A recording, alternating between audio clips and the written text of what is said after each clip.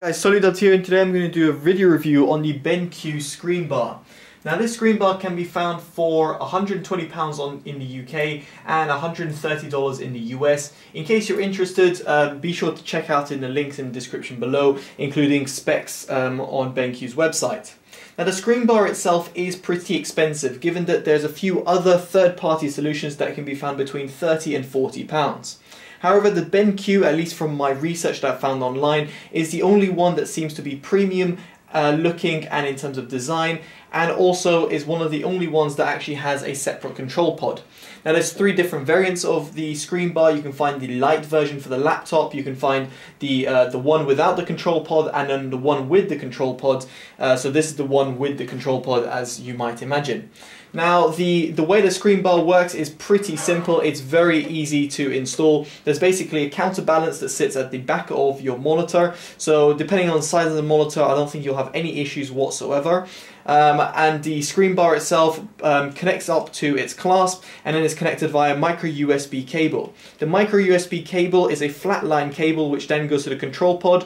Uh, if you don't have the control pod then this will directly go to a USB type A port uh, which therefore can be connected to your monitor if your monitor is plugged into your uh, motherboard or your laptop um, or can be plugged into a, a, wall socket or in my case I plugged it in directly to my motherboard but again if you have a laptop you can plug it in there as well. Uh, BenQ suggests that you have at least a 5 volt um, um, output uh, for your USB ports in order to power the light uh, adequately. Now that is perfectly fine for most modern day laptops or PCs so I wouldn't have to worry about that. Now the control pod itself and the reason why you'd want to pay extra for this versus the non-control pod variant, which I think is a lot cheaper, around um, $20 cheaper in the US and um, about 30, 40 pounds, well 30 odd pounds uh, cheaper in the UK. Um, the control pod essentially means that you don't have to press buttons at the top of the, um, the light, well, the screen bar. So the non-control pod variant has its controls directly on the screen bar itself. However, here you get a more sleeker type of look and a quite easier access rather than having to reach out. In my case, my monitor is usually propped up pretty much all the way to the top um, of my um, of its um, height adjustments, and therefore actually adjusting it would be pretty much impossible unless if I were to every day adjust my monitor down and then do that, which seems pretty counterintuitive because you want something that's quite easy to use. And therefore this control pod brick pretty much does it. Now the control pod is very easy to um, understand. There's basically a, um, a kind of knob that you can adjust and that adjusts uh, the brightness um, or the temperature. So by the press of the right button, you can adjust the temperature. You can see it goes blue, and then it goes uh, more of a warmish um, color tone. And then if you press the button again, you've got how light it can go. So you can dim it pretty low, and then you can ramp it up pretty bright, and therefore it'll be very, very bright. You've also got via the control pod an auto dimmable function. If you press this button, it will flash and then it'll go green and then it'll automatically dim itself depending on your um, uh, your room's lighting conditions and the ambient light uh, sensor is found over here. Other than that, there's nothing else to uh, mention. The little puck over here is uh, very sturdy. It's got a good weight to it. It's not going to slide off because it's got rubber grip underneath. And also in terms of the feel of it, in terms of how the volume knob um, adjusts and how quickly it responds, it's instantaneous and I've got no complaints whatsoever. So what do I make of the actual screen bar? Well, to be quite honest, it is very useful for those people who want to be working on their desk. In other words, you want to have a light that's shining down from uh, in front of you rather than behind you. So in this respect, over here, it would be pretty dark to actually um, do some work.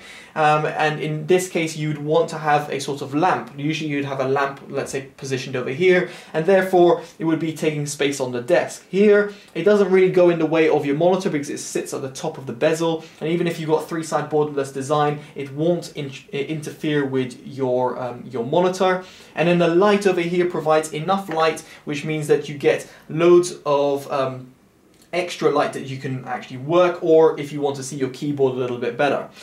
So the solution won't isn't for people who really want to see their monitor better. It's for people who want to work in front of their monitor, or let's say, in my case, let's say I'll do this and then just have it here, or let's say if I'm eating food, there's even a sign over here of my plate yesterday where I was eating food. Um, it really depends on in terms of you, but I really like what um, this light does, and I definitely see myself using it. I can definitely see, for example, my uh, fiance who is um, doing a PhD, she'll be working on a PC, but then she'll have to do some uh, complex calculations or look at her notes, and then she can do that using this light. And if she doesn't want to use it anymore, she presses a button, and there you go, it's automatically off.